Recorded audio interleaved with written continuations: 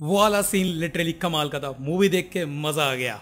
हे hey guys तो कैसे हो आप लोग? तो आज हम बात करेंगे ब्लैक एडम मूवी के रिव्यू के बारे में। एक क्विक रिव्यू होगा। मैं आपको बताऊँगा कि थिएटर में ये मूवी देखने लायक है या नहीं। क्या आपके पैसे खराब जाएँगे या सही जाएँगे? ओवरऑल हर चीज़ के बारे में बात करेंगे। तो इसमें कोई स्पॉयलर नहीं होने वाला है तो वीडियो को पूरा देखिएगा।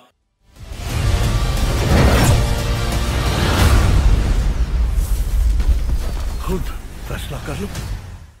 तो चलिए सबसे पहले बात करते हैं कि ब्लैक एडम की जो रेटिंग्स आई थी, जब मूवी रिलीज़ भी नहीं हुई थी, और वो रेटिंग्स थी 55 परसेंट और अब इस मूवी को 55 परसेंट के बाद काफ़ी लोगों ने तो भाई हारी मान लिया कि हम इस मूवी को देखने नहीं वाले हैं। बट मैंने ऐसा नहीं करा और मेरे संग हर्ष भी गया था, यानी मेरे एडिटर और हम दोनों ने हार नहीं मानी और हम मूवी देखने गए। और हमें उम्मीद थी कि ये मूवी कुछ कर दिखाएगी। और फ़िलहाल वैसा ही हुआ।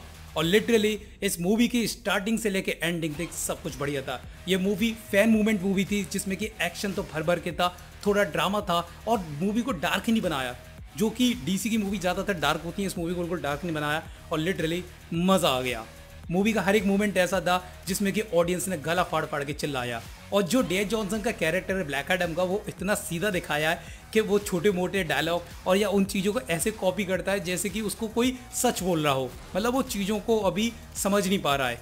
तो हाँ ब्लैक एडम, ये मूवी काफ़ी कमाल की थी। और कह सकते हो कि ब्लैक एडम अभी इस दुनिया में नया नया आया है, उसे चीज़ें समझने में अभी टाइम लगेगा और ओवरऑल मूवी बहुत ही ज़्यादा बढ़िया है। और अब बात करें थोड़े इसके नेगेटिव पॉइंट के तो हाँ स्टोरी इसकी थोड़ी सी अलग कर दी है ओरिजिन थोड़ा सा अलग है। पर मैं कहना चाहूँगा कि भाई अगर आज के टाइम से ये ब्लैक एडम बन रही है तो उसके हिसाब से ये परफेक्ट है।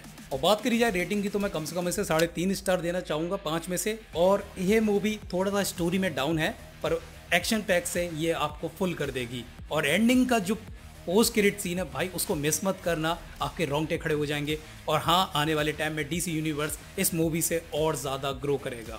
और देखते हैं कैसा होता है। बाकी आपको रिव्यू अच्छा लगे तो कमेंट सेक्शन में ज़रूर बताना और मूवी को देखिएगा ज़रूर। और आपने मूवी देख ली है तो कमेंट सेक्शन में ज़रूर बताइएगा।